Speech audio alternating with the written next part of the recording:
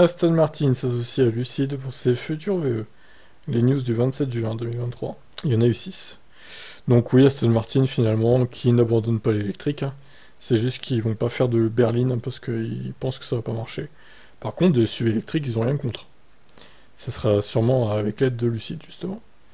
Le gouvernement reste contre la taxation du poids au poids des voitures électriques pour l'instant. Tesla met fin aux négociations avec l'Espagne pour construire une Gigafactory dans le pays. Donc, euh, la France et l'Italie tiennent toujours la corde. Pour l'Europe, en tout cas. Qui va, choisir Elon?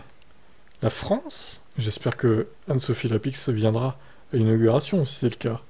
Opel dévoile son nouveau logo. pas beaucoup de changements, honnêtement. Chevrolet augmente fortement les tarifs de son pick-up Silverado EV et un peu l'autonomie, mais bon, les tarifs, euh, voilà, ils n'ont pas réussi à les tenir. Hein. Contrôle technique des moteurs de 2024, le gouvernement offre 6000 euros de prime à la conversion pour passer à l'électrique. Pas sûr que ça intéresse beaucoup de motards, mais bon, ils sont tellement chers les, motos électriques, et les motards sont tellement des puristes du thermique, globalement, bon, ça va être dur. Hein. Je vous laisse commenter.